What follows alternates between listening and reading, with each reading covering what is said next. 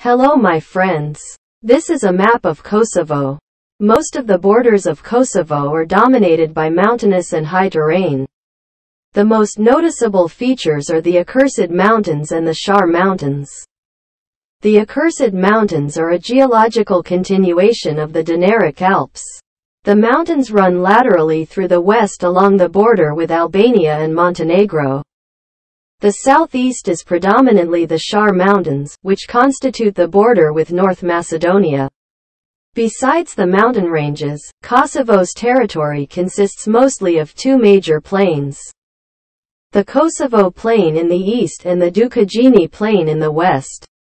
Additionally, Kosovo consists of regions, such as Drenica, Dushkaja, Gollak, Has, Highlands of Gjakova, Llap, Llapusha and Rugova.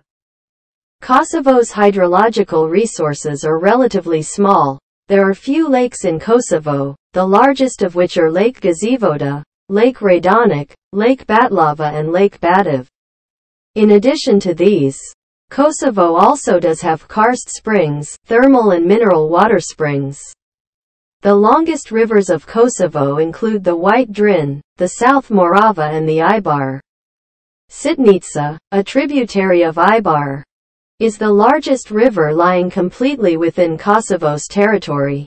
River Nerodimka represents Europe's only instance of a river bifurcation flowing into the Black Sea and Aegean Sea.